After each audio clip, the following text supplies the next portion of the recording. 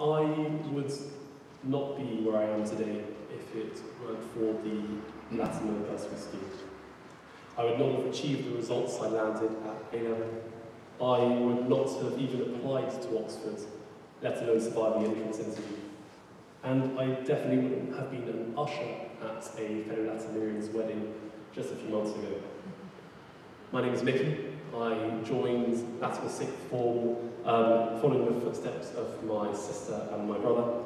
I graduated from Oxford University uh, with a master's degree in engineering science and now work as a management consultant for Gartner, the world's largest um, technology research firm for big business.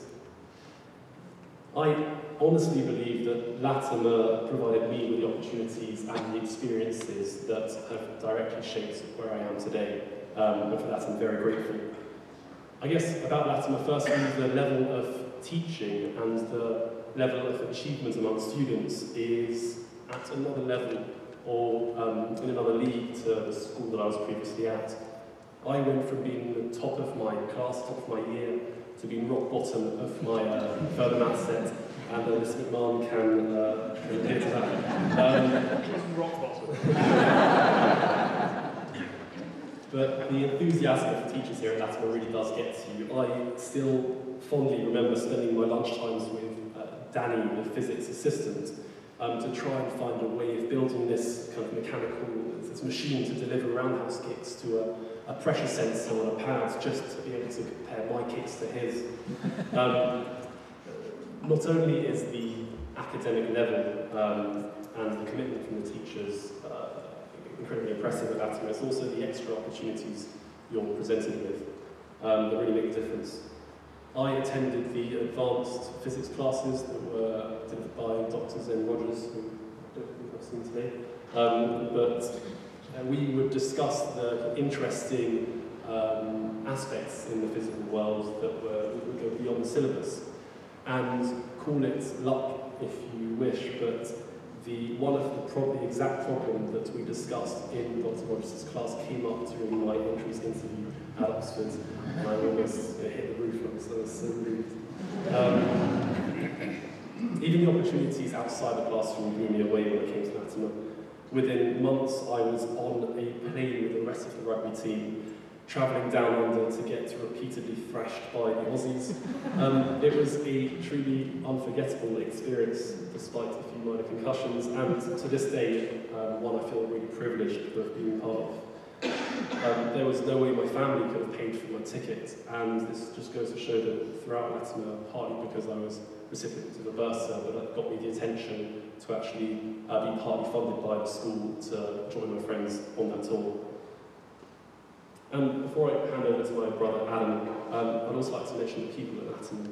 Uh, the sheer diversity of friends I made while I was here, from my ultra geeky further math set to um, the guys I met and battled with on the rugby field, it really was fantastic and something I genuinely haven't met since leaving Latymer.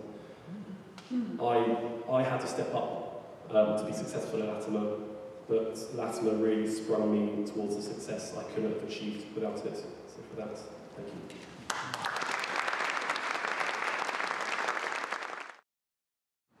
I came to Latymer in 2005 to join a sixth form, as my sister had, and that was thanks to being the recipient of a bursary. Uh, when I joined, Latymer had previously been still all boys, so there was all the excitement of girls getting in in the sixth form. And it's probably fair to say that on the first day, when I turned up to meet the rest of my set on my own, with no other girls, there was maybe a murmur of disappointment. but I quickly settled in and I started to be able to enjoy all of the different things that the school has to offer.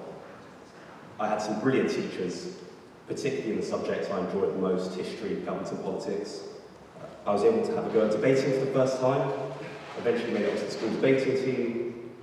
I got to hear all sorts of interesting and accomplished uh, speakers at what was then called the JS Society. I hope it still is now. I stumbled around a few times the, full, uh, the school's football seconds team, no rugby heroics, uh, like Mickey. I got other new experiences for me, like assemblies, school plays, All of those were brilliant things. I think the one that probably made the biggest difference to my life overall was the help and support that I got when I was applying to university.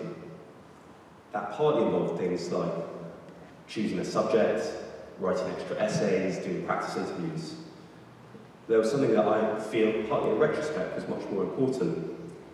That was being interested in and excited about the subjects that I was studying, not just as a means of getting good grades, not just as a way to get ahead in life, but as an end in itself, and because they were interesting in and of themselves.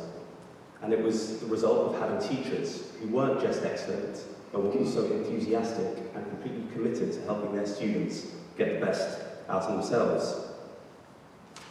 Thanks to all of that, I was lucky enough to be offered a place at Balliol College, Oxford, to study history and politics, where I spent three very intense but wonderful years, where I met my now wife, who's here tonight. She also obviously sends her thanks to the school for getting me there. while, I was at, while I was at Oxford, I received something from the Oxford Opportunity Bursary, which just purely means tested, and it meant that I didn't have any real money worries while I was there. I was lucky enough to receive a scholarship from my college, which didn't give me much money, but meant got a slightly longer gown and a bit left over for a few drinks. After a year out, which included volunteering at, on King Street at the Hammersmith and Fulham Law Centre, I started my next stage of studying with the aim of becoming a barrister. Now that meant the law conversion course first and what's generally known as the bar course after that. Those were expensive courses. Uh, I hope it won't seem too crude of me to say so, but the first one cost just under £9,000, the second one at nearly 17000 Without help, there really wasn't any chance for me of going down that route. And again, I was fortunate, fortunate enough to get help. This time it was from something called the Inner Temple, which is one of four Inns of Court to which all barristers in England and Wales belong. After the bar course, I started a pupillage at a barrister's chambers. A pupillage is effectively like a year-long apprenticeship. At the end of that, luckily, happily, I was offered a permanent place. So at the end of 2014, started my life as a full-time self-employed barrister despite my youthful appearance, trying to try my best to build a practice. Now I'm quite sure that my life would have gone the same way if I hadn't been given a bursary to come here, where the opportunities available to me grew and they expanded, and that was because of the generosity and foresightedness of people I didn't know and would likely never know I do have to confess that at no point during any of this did I think about the people who made that possible. I was too busy hoping I'd get that help. And if they're anything like me, I'd imagine that the boys and girls who could be the recipients of future bursaries from Latymer probably won't think of donors either. But what is certain is that the more money that can be raised in this appeal for all of you, the more of those pupils there will be. I can also tell you that when they get to the stage my siblings and I are now, and they have a moment to stop and to think, they'll be very grateful to all of you. Thank you.